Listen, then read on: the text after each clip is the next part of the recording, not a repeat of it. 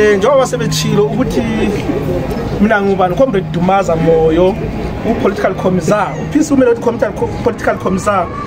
wemzansi yonke jikelele liya-understand angithi yonke bathezwayo asijabule yini macomrades njengoba sijabulile macomrades um mina njengopolitical commissar ngizoqala ngikhulume ngani lonke ama-comrades mhm. into engijabulise kini yikuthi kuthiwa kubuza ukuthi orejiste ukuvota ngubani lonke laphambi sizibhakela nathi rejiste ukuvota ngithi phambili ngalokho macomrade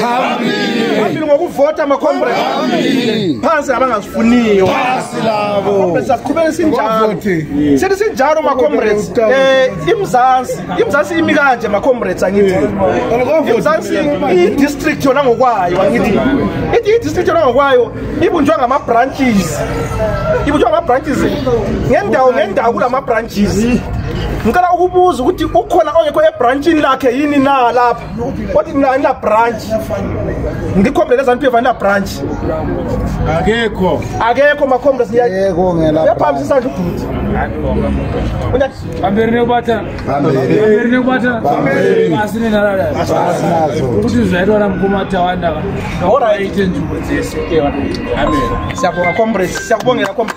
orani makomrades eh, ngiyabonga ukuthi ithe lonke kumabhantshisi angithi into esize ngayo namhlanje sizobonga ubhuti utawani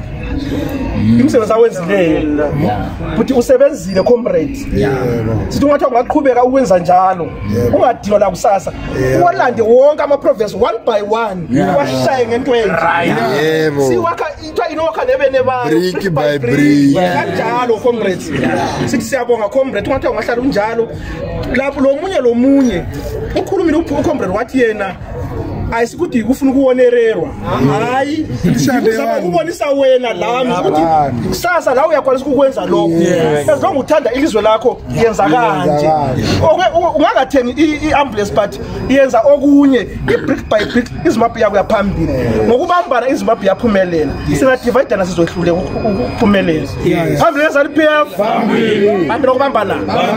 phasi ngezigebengo amacombrades